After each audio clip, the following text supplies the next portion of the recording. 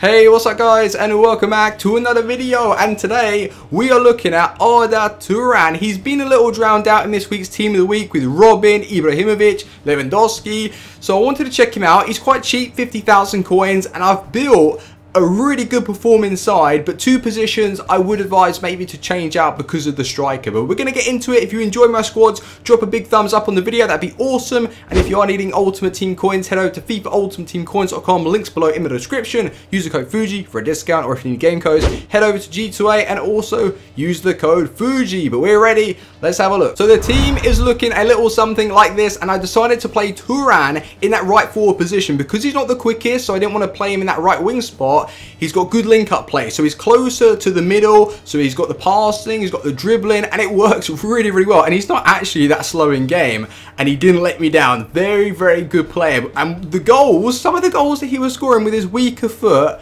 Beautiful. Uh, before 3, 2, 1 is the formation. We've got basically the young Casillas. It's Casilla. It's just because their names look alike. But yeah, Casilla, uh, Casilla in goal. We've got Dani Alves, first time using him. He's good going forward. Varane, Toprak, Erkin. Just to add another league to the team. Calhanoglu, and he's getting that hyperlink with Toprak. We've got Rakitic in there. We've got Kovacic. And then we have these two up top, which I did say maybe change out. Like, you can score a lot of goals with the side, but Kuriani maybe not of you not a lot of you will like him. So all you got to do is have a hyperlink because Calhanoglu's got a hyperlink so you don't need anyone else linking to him. So yeah it's just left forward striker. You guys can decide that but Turan, he didn't let me down. So the team was conceding a few goals here and there, but I'm actually going to put that down to just the quality of opponents that I was up against and just me not being able to defend that well. But Turan, he stole the show. His weaker foot is actually really good. So if you are through on goal with him, don't feel like you're pressured to go back onto his right to shoot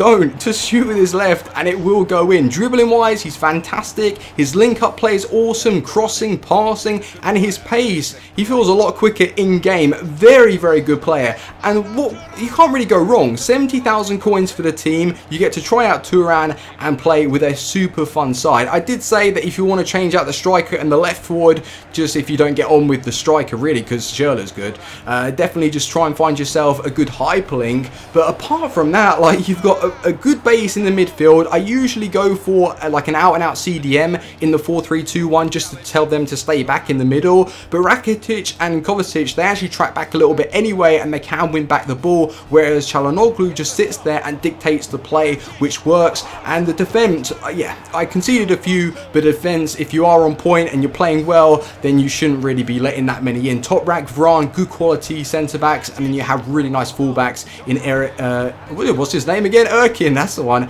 Erkin and uh, Dani Alves. I really, really like the team, and I hope you do as well. And if you do create it, uh, tell me what, what you think of Turan, because I think he's actually like a perfect right forward. You could play him in that right wing position, but I feel that he's better closer to the play, just because you can link up and so, sort of pass a little quicker than you would do if he was uh, out wide and on his own. So yeah, really do rate the team. I'm going to give it a four, four, four and a half star out of five, just because of the price price and the way it was playing. And yeah, thanks ever so much for watching, guys. Let me know in the comment section if you want me to review or actually build teams around any of the other new players in the team of the week. And yeah, thanks for watching, and I'll see you soon. Take it easy. Team out. Peace.